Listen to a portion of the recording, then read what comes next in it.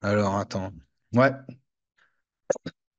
Alors, euh, question. La myrtazapine. Alors, euh, là, c'est la question de est-ce que tu peux rajouter de la myrtazapine à de l'avant-la-vaccine pour quelqu'un qui a une dépression, qui ne répond pas à l'avant-la-vaccine ou qui a une réponse partielle? Si ça n'a pas de réponse, tu dégages, on est d'accord? Si y a une réponse partielle mais que tu veux augmenter, tu mets de la myrtazapine. Est-ce que c'est pertinent ou pas?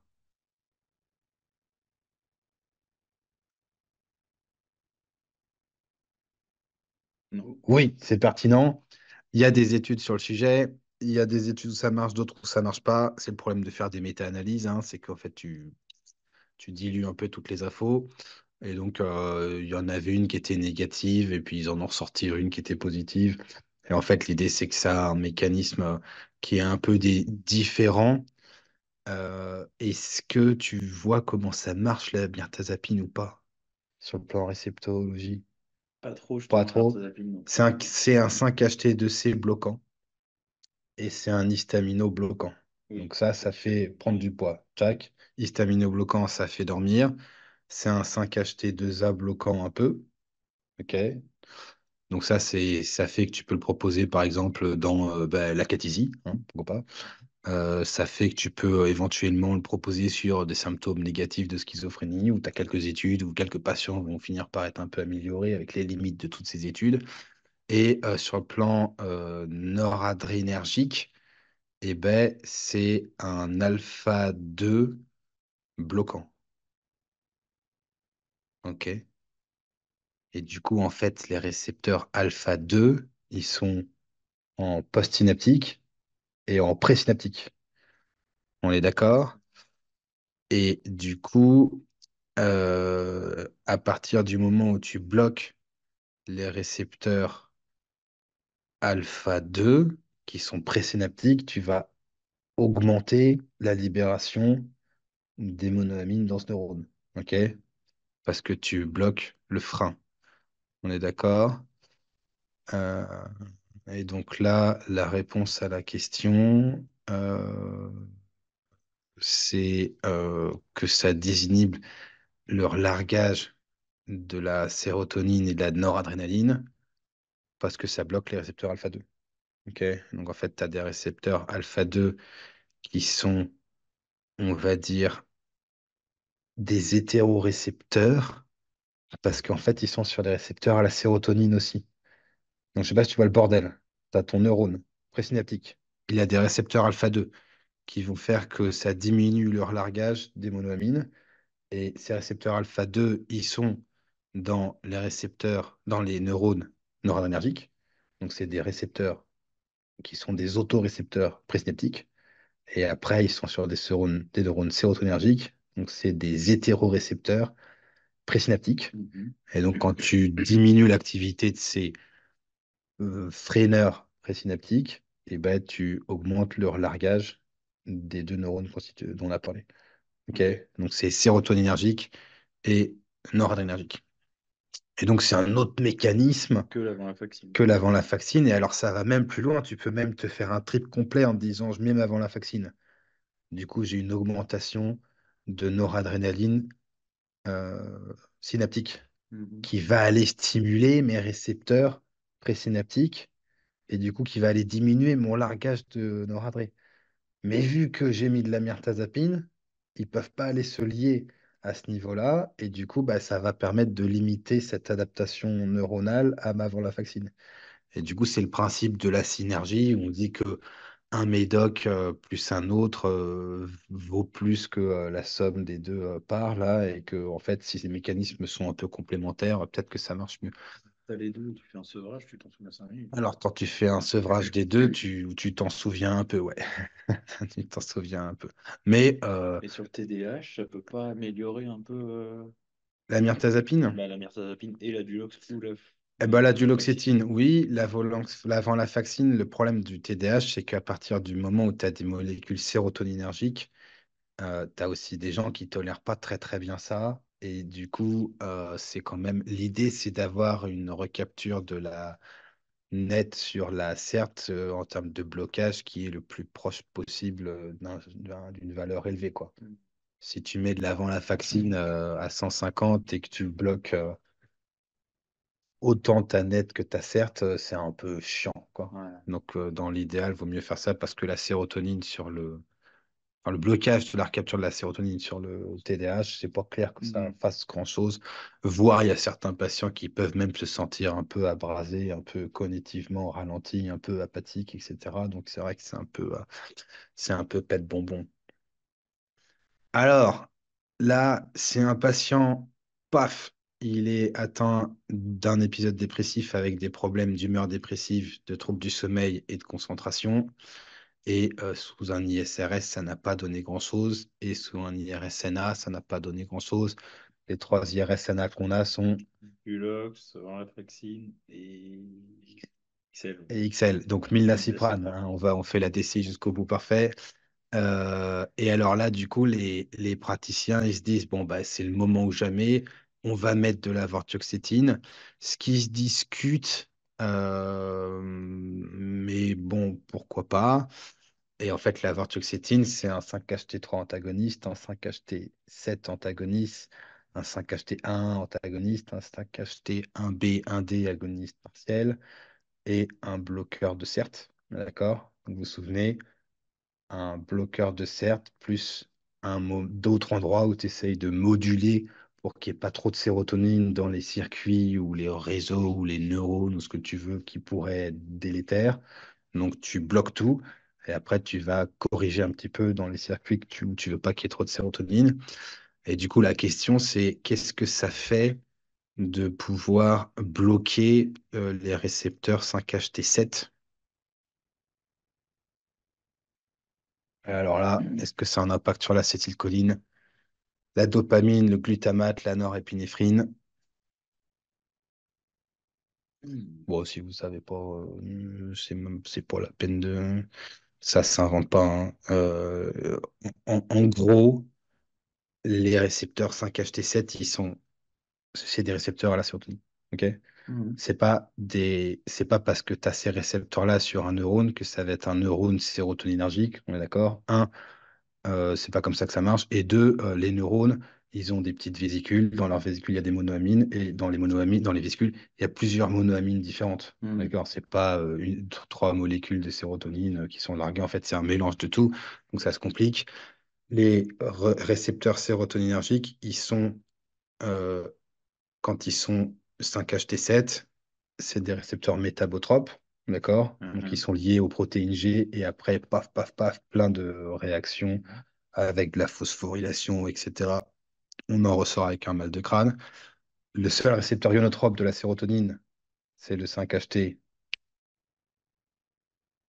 Ouais. impeccable, euh, qui est aussi antiépitique. D'accord? Mhm. Et donc, il y a plein de récepteurs à la sérotonine situés au, au niveau euh, de la médula, et c'est un endroit où euh, il y a le, pas trop de barrière hémato-encéphalique, parce qu'il faut bien que ça puisse passer à ce niveau-là pour qu'on ait le réflexe euh, de vomissement. Et du coup, l'idée, bah, c'est un peu toujours le même principe. c'est que tu as ton récepteur à la sérotonine 5-HT7 qui va être parfois lié à des interneurones inhibiteurs qui sont eux-mêmes liés à des neurones glutamatergiques où ça va augmenter le glutamate. Et puis, il y a des fois où c'est carrément euh, lié directement avec euh, un, un espèce d'autoneurone qui va aller faire qu'il y a un frein. Et du coup, tu mets ton, ton truc, tu as plus de sérotonine, mais cette sérotonine va aller stimuler le récepteur 5-HT7 qui va aller stimuler un interneurone inhibiteur qui va calmer le neurone que tu essayes de stimuler. Et du coup, quand tu mets un 5-HT7 bloquant, eh ben, tu bloques ce système de frein. Ok. Donc, euh, honnêtement, euh, je pense pas que euh, ça sert vraiment d'apprendre tous les neurones un par un, etc. Enfin, c'est encore un peu tôt. On fera ça après, mais on le fera. Mais là, l'idée, c'est vraiment le, le message de tu as plusieurs récepteurs qui sont bloqués, qui permettent de, de tuner de façon un peu plus fine ce que tu fais, euh, plutôt que juste mettre un cercle bloquant et majorer le signal sérotoninergique partout. Ok. Donc, en théorie, c'est pas mal. Mais euh, en pratique, euh, bah, ça marche pas autant qu'on l'espérait, là. Donc, Donc, sur le plan pharmaco, c'est un bon exemple de la, la psychopharmaco nous a déçus. Non, mais la tolérance est bonne. La tolérance est bonne, c'est pas un souci. Ça fait peut-être un peu moins de troubles libido que les autres. Sur le poids, c'est peut-être un peu mieux que les autres. Euh, mais c'est vrai que nous, euh, bah, on n'en prescrit pas trop euh, parce qu'on prescrit pas trop d'antidépresseurs de toute façon. hein. Euh, on a largement dépassé ce stade quand ils arrivent. Et, et ça fait partie du débat, est-ce que les antidépresseurs sont bien ou pas? En fait, moi, ça me concerne même pas parce qu'on doit en prescrire, je sais pas, 10 par an. Même pour les troubles anxieux ou ton- ton- Moi, les troubles anxieux, moi, quand ils arrivent, ils ont déjà essayé, ils ont déjà rincé les antidep. hein. Ah ouais. Ah bah, ils ont rincé les antidep, ils ont vu euh, cinq psychos. Enfin, en moyenne, c'est, on a passé ce stade depuis Mais longtemps. Mais pour les troubles anxieux, il n'y a pas de souci, ça marche bien. il y a- Ouais, c'est ça. Ah bah oui, c'est le débat, les antidépresseurs, c'est sur la dépression où l'effet de taille est de 0,26. Donc, vous vous souvenez, c'est un effet suffisamment faible pour que quand tu vois les gens, tu ne vois pas la différence. ok Et que quand tu fais les échelles, et ben, tu vois, si sur une bec, tu gagnes un point, c'est pas visible à l'œil nu. Et du coup, en fait, ils ont calculé les trucs et concrètement, sur la Hamilton, bah, faudrait qu'on mm, s'améliore euh, de 5 euh, points, euh, voire un peu plus. Et en fait, bah, les antidep, en moyenne, ça permet pas de t'améliorer à ce stade. Par contre, sur les troubles anxieux, c'est un effet de taille de 0,5, voire 0,6. Enfin, c'est bien. Il n'y a pas à discuter. euh, c'est bien. Et en plus, souvent, on met des doses plus faibles. Donc, euh, Mhm. moi, ça me va. Trouble anxieux, c'est pas les tocs, on est d'accord, parce que ça, c'est encore autre chose. Et le patient de ce matin qu'on a vu là, qui est, qui est sur le spectre, est-ce que, et qui est psychotique, là, euh, premier épisode psychotique à, je sais pas, euh, 30, 32 ans, ou je sais pas quoi, est-ce que quand on, on- il dit qu'il y avait des problématiques, un, d'alimentation, où il était obèse dans l'enfance, et deux, de jeux un peu compulsifs, est-ce qu'on peut pas voir là-dedans un signal de dysrégulation dopaminergique un peu précoce? où bah, visiblement il faisait plus de jeux vidéo que ce qu'il aurait fallu, il mangeait plus que ce qu'il fallait, et peut-être que tu vois, c'est un des premiers signes de ah, machin, c'est en train- c'est peut-être en train de nous échapper. Bon, alors, euh, 32 ans, qui est là pour l'épisode dépressif majeur caractérisé, qui prend un ISRS avec des améliorations de ses symptômes. C'est quel ISRS qui est métabolisé par le cytochrome 1 à 2? 1 à 2, Pouf, pouf, pouf.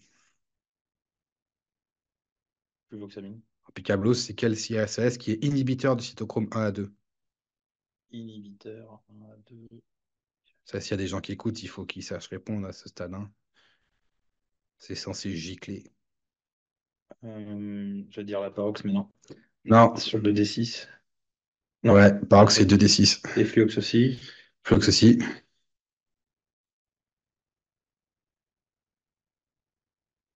Euh, Séroplex Non. Bah non, je sais pas. Eh ben, c'est la fluvoxamine. Aussi? Ouais, Ah, fluvoxamine et un peu euh, 2d6. Enfin, 1 à 2 et un peu 2d6. Du coup, la fluvoxamine inhibe un peu son, métabolisme. Il y a quel antidépresseur qui inhibe son métabolisme aussi? Sérotoninergique.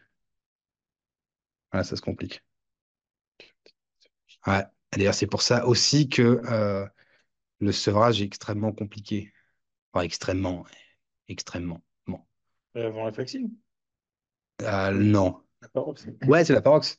La parox, c'est compliqué le sevrage parce que, un, la demi-vie est brève. Mhm. Deux, il a d'autres fonctions que le blocage de la CERT. Il est aussi, elle est aussi anticholinergique.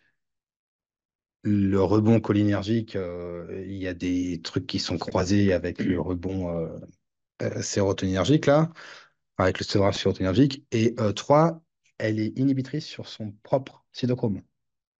Donc, plus tu diminues la dose, plus la demi-vie baisse. OK? Donc 60 de paroxétine, en moyenne, si tu oublies d'en prendre, tu as un peu moins de sevrage, de signes de sevrage que si tu es à 20, parce qu'il y a les 60 qui mettent plus de temps à descendre, un, parce qu'il y en a plus, mais aussi parce que c'est plus inhibiteur sur le D6. OK? Donc c'est ça qui se passe. Donc plus tu diminues la dose, plus la demi-vie diminue aussi. C'est pour ça une des raisons qui font que le sevrage est compliqué. Mhm. OK? Euh, on en est où? Alors, OK.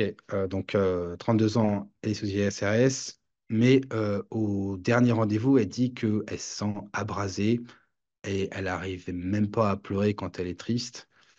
Euh, et du coup, la question là, c'est euh, est-ce que en changeant son ISRS vers de la vortioxétine, tu pourrais améliorer ses symptômes? Bon, là, moi, je suis pas trop d'accord. Je pense qu'il y a des problématiques euh, financières qui se posent avec ces questions, mais c'est, c'est mon avis, hein. D'enterrer.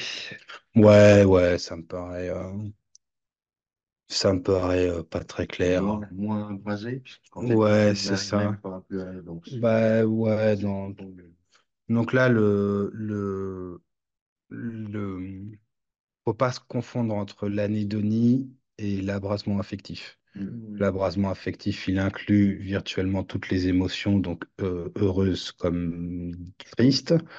Et euh, l'anédonie, c'est la disparition des plaisirs. Il n'y a plus de plaisir hédonique, machin, ok. Et, là, l'idée, c'est que la- le Brintellix, en fait, il était là pour répondre à ce problème de bah, les antidépresseurs, un, ne marchent pas beaucoup quand ils sont monoaminergiques, et deux, il y a un problématique d'émoussement affectif qui arrive facilement chez certains patients, et du coup, comment on peut corriger ça? Et l'idée, c'est que le blocage des différents récepteurs qu'on a vus, le 5-HT3, 7, machin truc, et ben, ça permet d'augmenter un peu la dopamine euh, euh, mésolimbique et mésocorticale. Et euh, en fait, le niveau de preuve théorique dans les papiers, dans les études, n'est pas très bon, je trouve. Et le niveau de preuve clinique, l'expertise commune n'est pas vraiment en faveur de ce résultat-là. Euh, moi, j'ai jamais eu de patient qui est beaucoup moins abrasé sous vortioxétine, ou alors quand j'en ai, c'est des gens qui me disent euh, deux semaines, à- deux, deux mois après, en fait, je l'avais pas pris, ou je sais pas quoi. Enfin, C'est ce ça. De, de, de là, alors, je pense que l'idée, c'est euh, faut se souvenir que Yas Bratelli qui existe, qu'il a un système de et qu'il a une réceptologie en tout cas qui est différente des autres, qui, qui mérite potentiellement d'être essayée. De là euh, à faire de ça euh, une option thérapeutique pour gérer l'abrasement affectif sous sérotoninergique, ça me paraît un petit peu plus euh, compliqué. Un truc qui a un niveau de preuve beaucoup plus élevé pour ce problème, c'est de mettre du bupropion à la place. Alors là, dire c'est noradrénergique et dopaminergique, ça touche pas trop la sérotonine, c'est jackpot. hein. Donc c'est 100 balles par mois, mais euh, le niveau de preuve, là, rien- honnêtement, euh, rien à voir. Problème, les études sur le bupropion, le labo les fait plus. Donc bah voilà. hein. Euh, donc voilà, parce que pour Intellix, il y a le labo qui est encore en train de, d'essayer de nous filer ça dans la bouche. Là, le laboratoire Otsuka, qui, qui est celui dans la région, euh, c'est une catastrophe. hein. Ils viennent tout le temps, le Brintellix, enfin, moi j'en peux plus. Bref. Euh, et alors en plus, sur le site transparence.gouv, que moi j'ai découvert qui est superbe, qui a les différents conflits, alors pas conflits d'intérêts, mais qui a les différents euh, ressources financières qui ont été attribuées aux labos, des labos par les médecins. Donc, il est intéressant le site. Et ben nous, il y a, quatre euh, repas où euh, ils ont mis, euh, ils m'ont mis comme ayant récupéré du fric par Otsuka. Donc moi, j'ai un peu les boules parce qu'en fait, je pensais que c'était juste une espèce de réunion sur le secteur euh, avec les praticiens, les confrères d'autres villes et tout. Mais en fait, non, ça a été considéré comme euh, du fric reçu par Otsuka. Et en plus, le Ah, labo, je ouais, non, par, bah, ouais, re- reçu euh, de Otsuka par mois, ouais. Et euh, les discussions n'étaient pas intéressantes et la bouffe était dégueulasse. Donc vraiment, euh, bon, bref. Alors, 30 ans, diagnostiqué pour un épisode du euh, postpartum dépressif sévère, trois semaines après avoir donné naissance. Donc l'échelle de postpartum, de la dépression postpartum qu'on a vue qui ne sert pas à un psychiatre, c'est l'échelle de Édimbourg. OK? Donc, il y a un gars sur YouTube qui a mis la question, est-ce que la- l'échelle, euh, la PHQ-9 est bien ou pas? En fait, il n'y a pas d'échelle qui soit bien ou pas bien.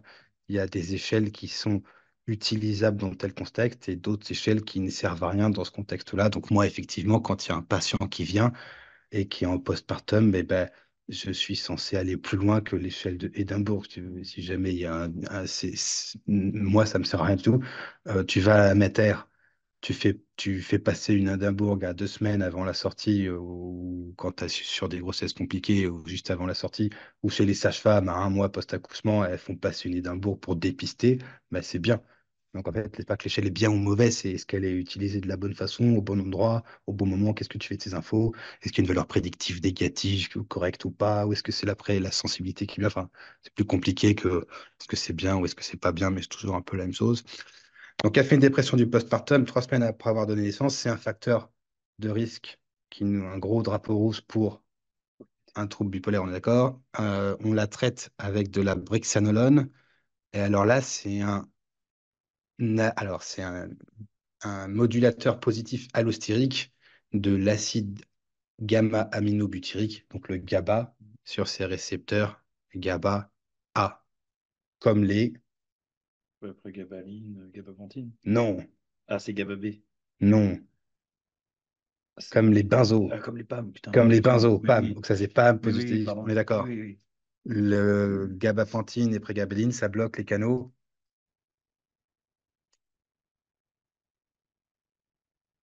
oui. Ionique, voltage dépendant. ioniques, voltage dépendant, parfait. De quel type? Parce qu'il y a deux. Sodium ou de- Ou l'autre. Le nom? Ouais, bah sodium ou calcium. Sodium peut-être. Bah sodium ou calcium alors. Les gabapentinoïdes, ça bloque les canaux.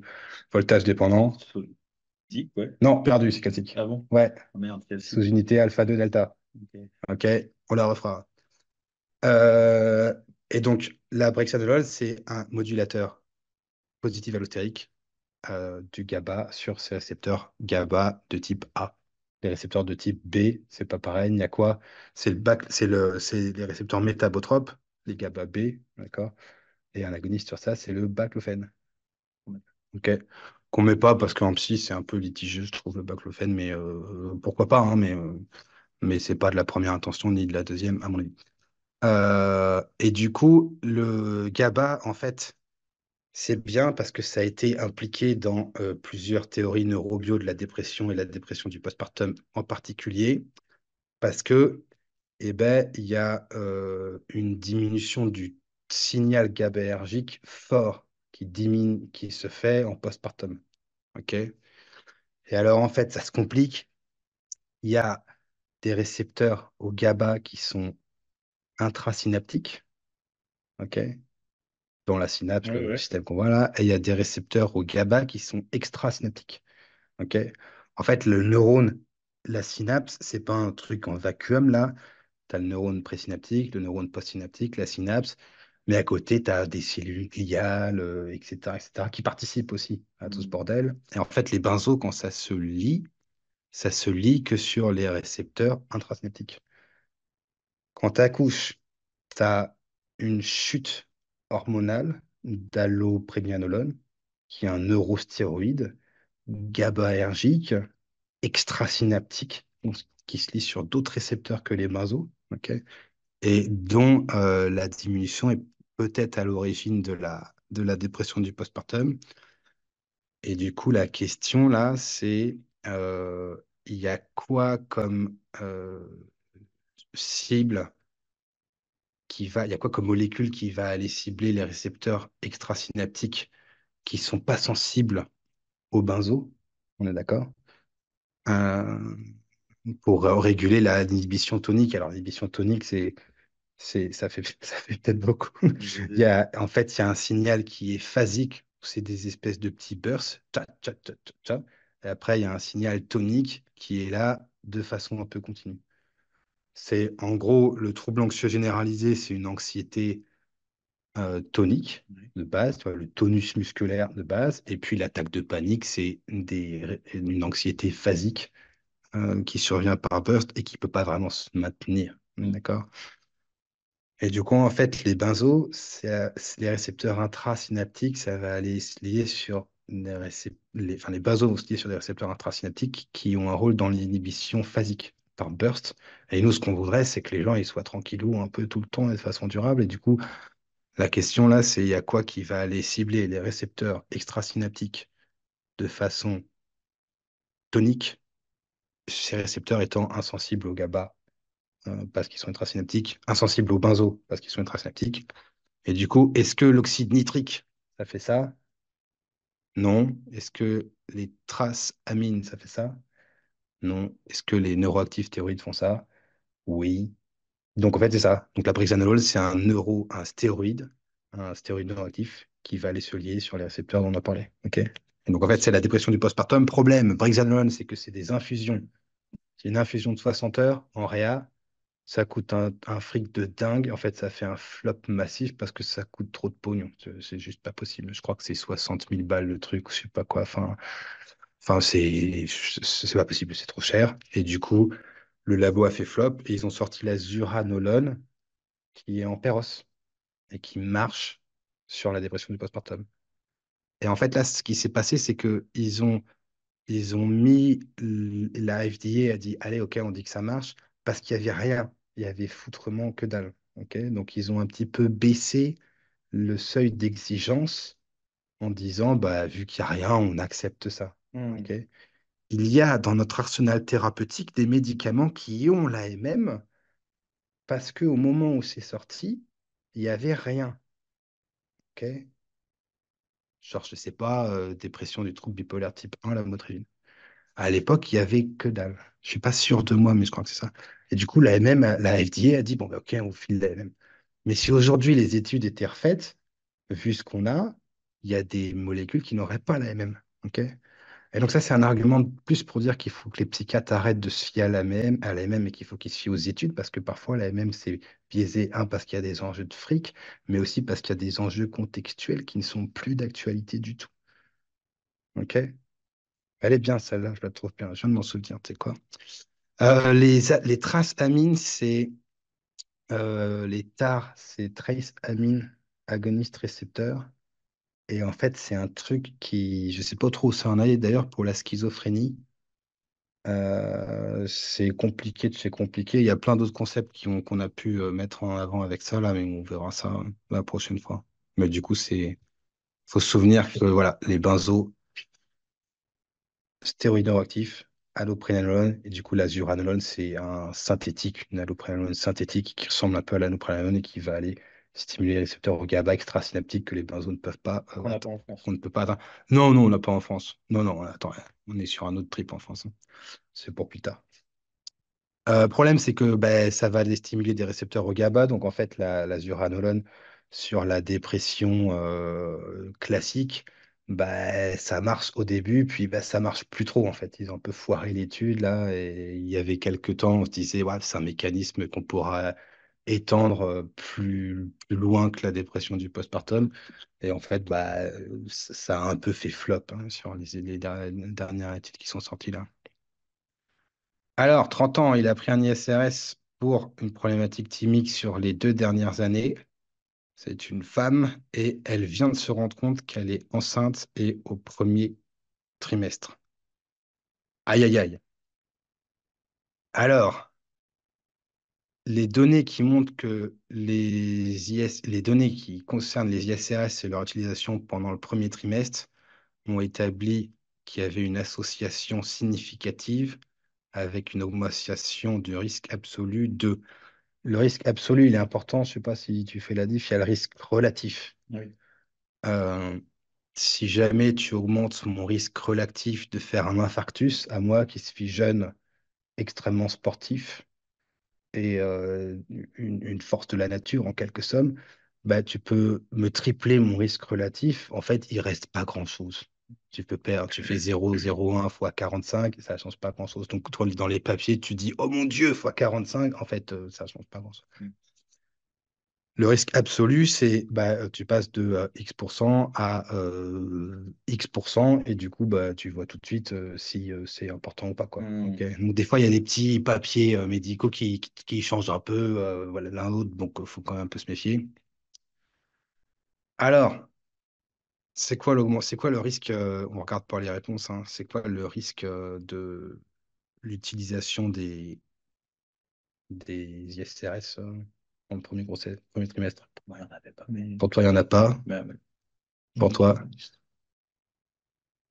C'est ça que tu dis à la patiente? Tu dis, il n'y en a pas? Non. Ok, tu dis quoi? Je dis pas grand-chose. Ouais, tu sais pas trop. Je bois avec Dr. Sikora. Tu vois avec des torsicographes. Euh, on l'a, on l'a faite, celle-là, c'est toujours le même truc.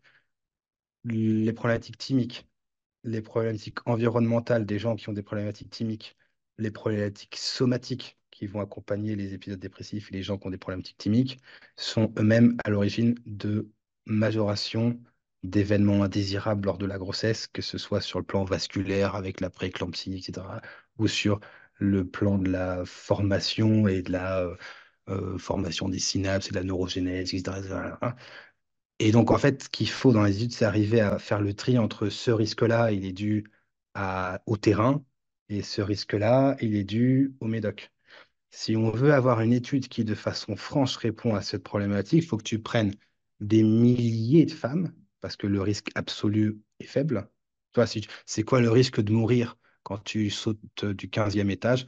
Tu n'as pas besoin d'une cohorte de 500 patients. Tu, tu en fais 10, c'est déjà pas mal, tu vois. tu- Alors que là, tu cherches un truc rare, donc il va te falloir, il va te falloir un nombre de patients énorme. ok? Tu prends les patientes, tu leur files ça. Les autres patientes, tu leur files du placebo. Alors là, problème éthique parce qu'elles sont dépressives, mais tu leur files du placebo pour le plaisir de l'étude et tu regardes. Et du coup, en fait, cette étude ne sera jamais faite. ok?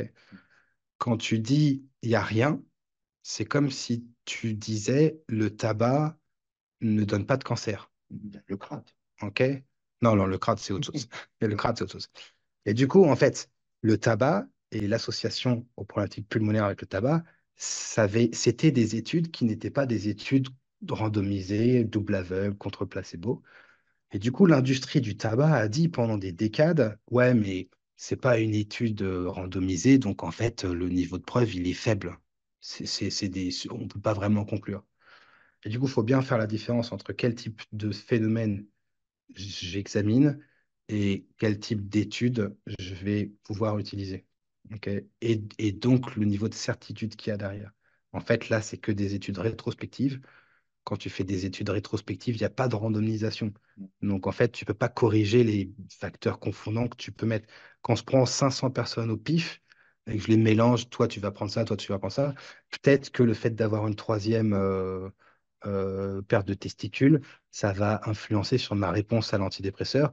Mais vu que je le mélange au pif, eh ben, il n'y a pas de raison qu'il y en ait plus dans un truc que dans l'autre. Là, je ne mélange pas au pif. C'est une population de patientes que je n'ai pas pris au pif. C'est elles qui ont pris des antidépresseurs. Du coup, il faut faire des corrections statistiques. Et en fait, tout ça, ça fait un espèce de, de brouhaha que tu n'arrives pas forcément à corriger avec des stats. Donc, en fait, le message qui est toujours le même, c'est il est possible qu'il y ait des problématiques qu'on ne connaisse pas, qu'on ne connaît pas. Il est possible qu'il n'y en ait pas.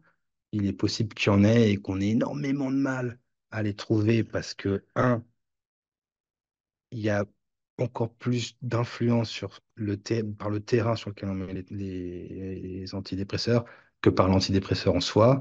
Et que du coup, la résultante, c'est que s'il y a un risque, le risque absolu est relativement faible tu dis aux femmes, bah, en fait, faible, ça veut dire quoi pour vous, machin? Et là, tu dis, bah, je sais pas, entre les études, c'est de zéro sur 10 000. Là, c'est ça. Probablement que c'est juste plus faible que le risque de problématique si les femmes arrêtent leur antidépresseur au premier trimestre ou dès qu'elles veulent tomber enceintes.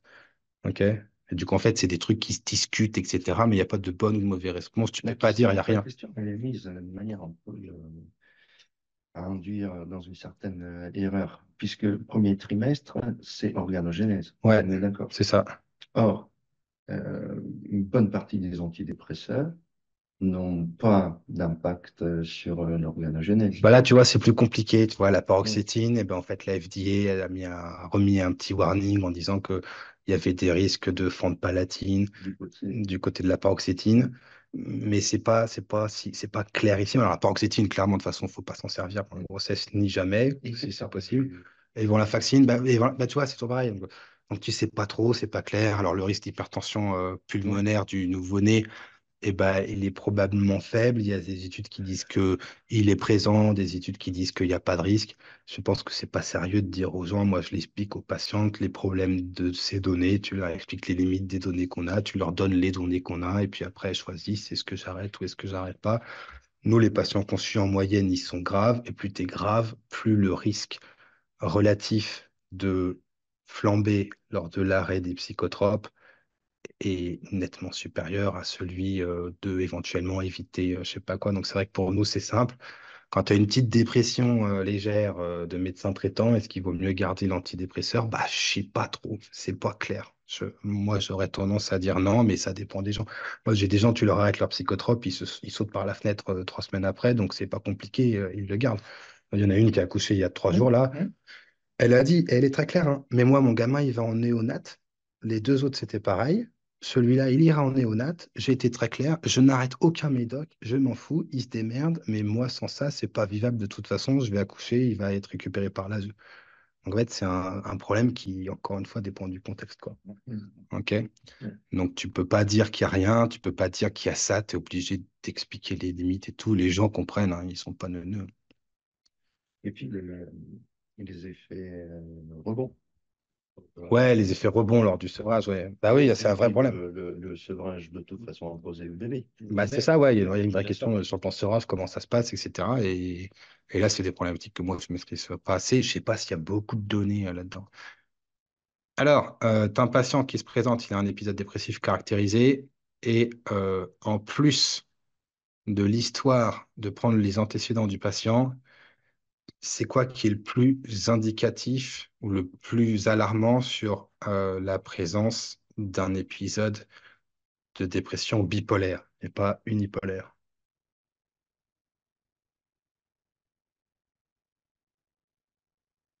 Euh. Elle est bien. Bah, en vrai, non, il n'y a même pas besoin de lire les réponses, en fait. Franchement, il n'y a même pas besoin. C'est quoi l'épis- c'est quoi l'élément qui va nous faire décider, nous, si on est sur un épisode dépressif, classique entre guillemets, ou un épisode dépressif d'un trouble bipolaire? C'est... plus précédée. Ouais, mais c'est pas ça le plus important. Qu'est-ce qu'on fait? Quand c'est pas clair, on fait quoi? On demande des antécédents familiaux, déjà. Ouais, On et quand c'est pas clair, Et quand... après on fait quoi? Le traitement, on regarde. Ouais, Ouais. mais le truc ultime, le gold standard de est-ce qu'il y a un trouble de l'humeur euh, de type maniaco-dépressif, parce que je pense que c'est plus correct que... euh, Bah, C'est la recherche dans les antécédents. euh, Ouais, il est adopté. Il est adopté, on n'en sait rien. Sur ses antécédents, lui, est-ce qu'il a eu déjà eu des phases d'humeur euh, Ok, il dit non. euphoriques ou non? Il dit non, qu'est-ce qu'on fait? Est-ce que c'est le premier épisode? Il dit non, qu'est-ce qu'on fait? Alors, on demande s'il a déjà eu des antidépresseurs, etc. Et combien d'épisodes il y a eu? Il dit non, il sait pas, il se souvient pas. Qu'est-ce qu'on fait? Ah bah ouais, mais là, mec, bon, on appelle les proches. Bah, c'est ça. Ouais. C'est toujours ça, hein. On a toujours fait ça. hein. Mhm. Soit c'est franc et ils vont mieux, soit c'est franc et ben ça devrait être mieux et ils vont pas mieux. Et du coup, en fait, là, c'est systématique. C'est la famille sait faire la différence entre bipolaire ou pas. Ils savent. Si la famille n'est pas là, le proche. S'il n'y a pas de proche, le concierge. Des fois, le concierge, il sait, il met un trampoline au mois de euh, juin parce que les affaires vont commencer à arriver euh, de, de la fenêtre du patient. Enfin, et donc, enfin, les proches savent. On est d'accord, ça, c'est ça, c'est- ça ne peut être que la seule raison. Et après, tu as plein d'autres trucs qui sont des signes d'eux, mais Moi, j'ai pris la question comme si on avait cliniquement la possibilité d'identifier et faire la différence directe entre euh, dépression Eh ben, tu peux pas. et unipolaire. Eh ben, tu peux pas. Cliniquement, c'est impossible. Donc, tu as des signes qui font penser que si elle arrive, elle a les, les cheveux euh, comme Marthe Simpson euh, avec du rose et euh, 15 tatouages euh, euh, et qu'elle dit euh, j'arrive pas à m'arrêter de réfléchir et je suis dépressif. Bon, ben voilà, mais il y a des fois, tu peux pas. Et du coup, on en a plein, on en a plein. Mais alors, euh, où en fait, on a fait venir le proche et en fait, horreur, euh, on est passé à côté. euh, donc, euh, donc la seule bonne réponse, encore ce matin, donc la seule bonne réponse, c'est il faut faire venir les proches. Il est impossible qu'un patient soit suivi et n'aille pas bien sans que les proches aient été consultés, c'est impossible. Donc quand ils vont bien et qu'ils disent qu'ils vont bien et que personne s'alarme, honnêtement, bah, c'est parfait, tout le monde est content, il n'y a pas de souci. Quand ils vont pas bien, il faut que les proches soient consultés, sinon c'est pas possible. Et moi, je rajouterais, je rajouterais sur les stimulants, le méthylphénidate, il faut que les profs, les proches soient consultés un petit peu aussi parce Mhm. que le patient qui dit ah là là ça me sert pas mal euh, j'ai quand même plus d'énergie et le proche qui dit bah moi j'ai pas vu trop de différence et on est à 40 mg de méthylphénidate euh, je suis pas convaincu hein, que les 50 vont permettre de changer là on s'en fait une dernière? Oui on se fait une dernière. Euh, alors 15 ans diagnostiqué avec un épisode de euh, enfin avec un épisode dépressif caractérisé d'intensité modérée donc là d'intensité modérée c'est un spécifieur Et du coup, on dit que bah, si jamais les autres sont pas là, euh, ils- les autres ils sont absents. Mhm. Donc il y a d'autres types de spécifieurs. Il y a avec caractéristiques mélancoliques, il y a avec caractéristiques psychotiques, C'est pas la même chose, faut pas confondre. Alors après, est-ce que le DSM a raison de le mettre comme ça ou pas? Je sais pas, mais l'objectif primaire du DSM, c'est qu'on corresponde tous de la même façon. Donc quand tu dis il est mélancolique, bah, euh, en fait, ça veut pas dire qu'il est psychotique. hein, d'accord, c'est complètement différent. Avec des traits anxieuses, avec euh, euh, éléments du postpartum, avec catatonie, avec ce que tu fais, on va dire qu'il n'y a pas ça. Elle déclare des idées suicidaires passives, mais elle n'a pas de plan ou euh, d'intention euh, immédiate de passer à l'acte. Donc l'urgence n'est pas à son maximum. Euh, elle nie des idées suicidaires antérieures ou des tentatives de suicide lors de son épisode actuel, là, donc elle n'en avait pas avant. Et avant de mettre, enfin, quand tu mets de la, la CBT, donc c'est de la TCC, tu débutes de la CCT, quelle option pharmacologique est-ce que tu peux mettre pour améliorer euh, sa prise en charge? Donc, en gros, c'est une ado, elle a un épisode dépressif caractérisé d'intensité modérée à sévère. J'ai oublié, c'est modéré à sévère. Modéré à sévère, c'est pas bien. hein. On est d'accord. hein. Mm. Léger, t'es déjà pas très frais. Modéré, c'est pas bon. Modéré à sévère, à 14 ans, euh, pff, c'est pas bon. hein. Tu vas en course, tu vas en cours, tu comprends rien à ce qui se passe. Enfin, c'est une Ouais. catastrophe. hein. D'accord? Et du coup, la question, c'est qu'est-ce que tu fais? Elle a déjà de la TCC. Alors, c'est royal, tu vois. Tu es à Paris, tu es dans le 7e, elle a de la TCC euh, spécialisée pour ados, euh, royal. Euh, et du coup, il y a les parents qui viennent te voir, genre, bah, euh, on veut quand même que ça aille le mieux possible. Qu'est-ce que tu mets? Ouais, Je suis une ado, je t'aurais dit fluoxétine. mais, Est-ce que tu mets de l'imipramine? Non, c'est quoi comme classe? Tricyclique, on est d'accord. Tu mets pas tricyclique chez les ados ni chez les enfants pour des problématiques cardiaques. hein. Il y a eu des cas de mort subite. Alors, euh, avant de mettre ça, faut, faut avoir euh, une discussion euh, et avoir épuisé toutes les possibilités. hein. Euh, ok. Pourquoi ils sont plus sensibles? Je sais pas, c'est de la pédopsychopharmacologie. Là, euh, il y a plus de questions sans réponse que de réponses. Donc, euh, je sais pas dire. Ce qui est sûr, c'est que les tricycliques, ça bloque les canaux ioniques qui sont aussi présents au niveau du cœur et que bah, ça peut euh, ne pas très bien se passer. Donc, c'est pas qu'il faut jamais le faire, mais c'est euh, à éviter. Le bupropion chez les ados, non. Et du coup, la, la, la question, c'est est-ce que tu mets de la, un antidépresseur ou rien? Et la réponse faire est sortir. tu mets de la fluox, on est d'accord. Un, un, il il y a, il y a pas mal de, de, pas de patients, mais dans la croyance un peu populaire, là, sur les problématiques d'antidépresseurs, etc., et sur l'efficacité des antidépresseurs. Quand tu as des patients dans des dépressions modérées à sévères, l'efficacité des antidépresseurs n'est pas discutable, quelle que soit la classe. Mm. Et c'est beaucoup, beaucoup, beaucoup, beaucoup moins dangereux de mettre un antidépresseur en moyenne que euh, de ne rien faire. hmm. ok? Donc, il y a toujours le débat de oui, mais ça peut, pro- ça peut mettre des crises suicidaires, etc., etc. Mais oui, mais oui, mais quand tu fais une, euh, une réaction anaphylactique et qu'il te balance un truc d'anapène pour te ressusciter, il y a aussi des nécroses qui se font après l'injection d'adrénaline. hein. Mais le risque justifie d'être pris au regard des bénéfices qu'on en attend. Ok? Donc, c'est jamais les antidep, c'est bien, c'est pas bien, machin, c'est sur quel type de dépression, etc. Et du coup, là, même chez les enfants, dans des dépressions sévères, il n'y a aucun doute sur le fait que les antidépresseurs, quelle que soit la classe, hein, là c'est au sens large, doivent, être essayés. La FDA a sorti des warnings. Ils ont sorti les antidep. Ils se sont rendus compte que sur les problématiques suicidaires, ça pouvait peut-être poser problème. La FDA a sorti les warnings. Les gens ont arrêté de prescrire. Il y en a même qui ont été enlevés de leur psychotrope, là, et sur le plan suicidaire, ça a été une catastrophe. Donc, il faut, il faut pas passer d'un extrême à l'autre. hein. C'est exactement le même discours que la dernière fois.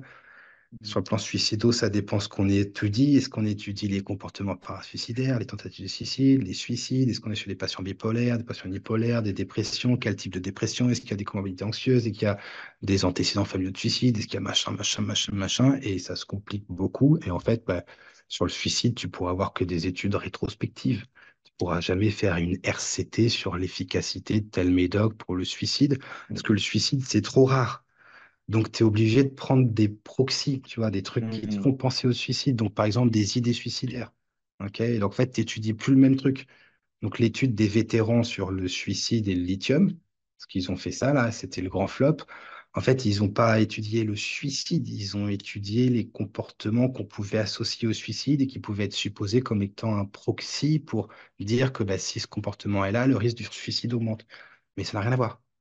Donc, c'est le problème du QT et des arythmies ventriculaires. Tu, toi, on dit, mais pas de séroplex parce qu'il y a une augmentation du risque de torsade de pointe. Non, faux. L'augmentation du QT avec le séroplex, elle est dans les études qui ont conduit au warning, elle est de 3,5 millisecondes à 10 mg. Donc, quand tu as un pharmacien qui te dit non, c'est trop dangereux, faux. D'accord? Et en fait, il y a des études où ils ont fait le séroplex et ça a augmenté de 30 millisecondes. C'était pas dose dépendant, donc il y a peu de chances que ça a vraiment un lien. Mais dans les études qui regardent si la mortalité cardiovasculaire elle a augmenté avec le séroplex ou diminué depuis qu'on a fait les warnings, et ben en fait, il n'y a aucune efficacité, ça n'a rien changé. Donc en fait, c'est un exemple de, pour essayer de voir le risque de torsade de pointe, je regarde le QT, mais c'est pas du tout clair que pour chaque molécule, si l'augmentation du QT se fait, il y a une augmentation du risque d'arythmie ventriculaire. Et du coup, en fait, c'est un peu ce même souci qu'on a avec le lithium. Donc, on peut pas juste lire une étude, sortir le résultat et poser ça comme une euh, réalité indiscutable parce que c'est plus compliqué. Et voilà. C'était pas mal. hein.